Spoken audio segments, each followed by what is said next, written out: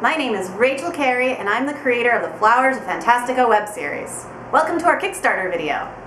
Rachel, um, you forgot to, uh, Oh, god damn it.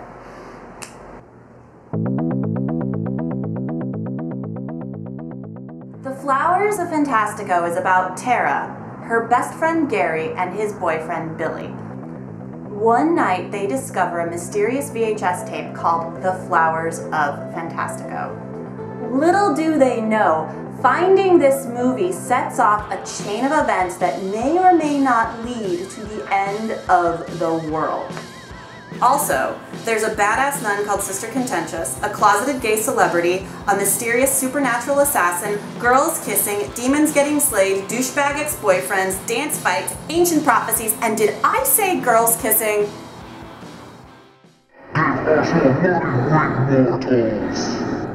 uh, Rachel, it happened again.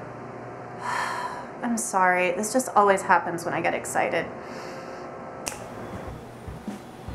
Sorry, um, what I meant to say was, so this past February, we launched the first six episodes of the series, but the entire season is 18 episodes total. And what we have in store for the rest of the season is insane.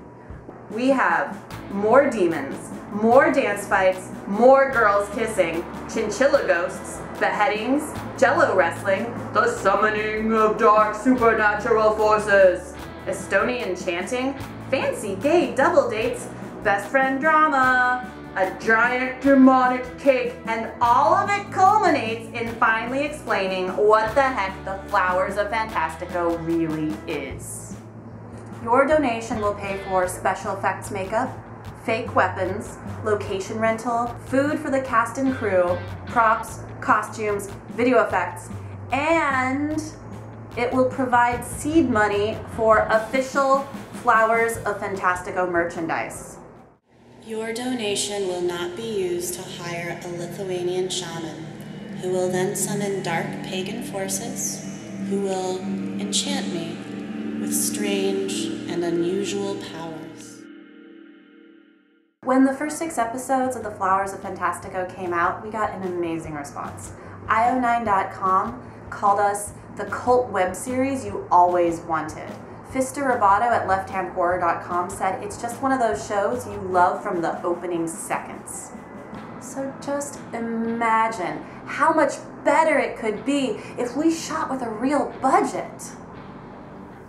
We need your help if the Flowers of Fantastico doesn't get funded. The consequences will be on